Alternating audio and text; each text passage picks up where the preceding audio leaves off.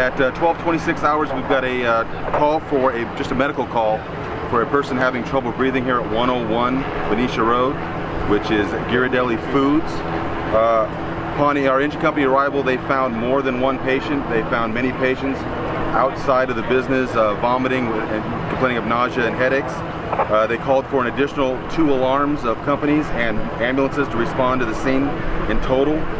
Um, the uh, cause was determined as a CO2 leak, uh, which was actually secured prior to our company's uh, engine company's arrivals, uh, and also they have a um, ventilation system that we, which was also activated.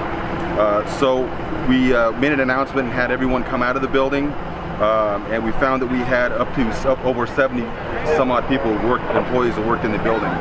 Um, the uh, initiated a incident command system and uh, started a uh, level two mass casualty incident with, with the county. Uh, this uh, notifies all the county hospitals that we have a large amount of uh, patients from an incident and uh, alerts all of the uh, uh, trauma centers and ambulances within the county. total patients, we had 71 persons transported.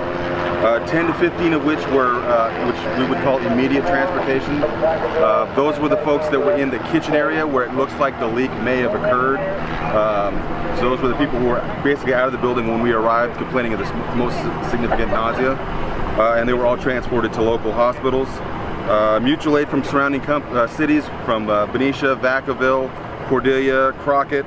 Uh, we also have Medic Ambulance who provided all of our transportation along with our SolTrans uh, because we had so many people who were basically what we would call the lowest level of injured. we, we, used the, the, buses buses to move the, those folks because you can't fit those amount of people in, in the ambulances. So we used the, the bus system to transport those to local hospitals. And they'll hit some of the local hospitals here in town. And uh, the investigation as far as what, what happened, Cal OSHA is here, along with Solano County Environmental Health or Environmental Management is also on the scene. That's what I have.